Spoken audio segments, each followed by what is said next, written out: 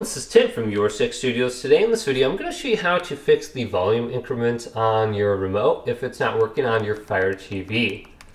So on the home screen here, let's go all the way over to settings and go on down to equipment control. So I'm doing this on a Fire TV stick, so I have equipment control right here. Select this. Go down to manage equipment and go to TV. So if your TV is not connected, make sure you go to change TV right here and this will detect your TV.